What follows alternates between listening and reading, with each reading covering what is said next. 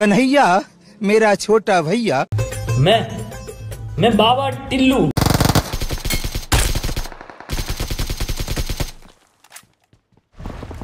मैं बलराम उसका बड़ा भैया। मैं गांडू चला जा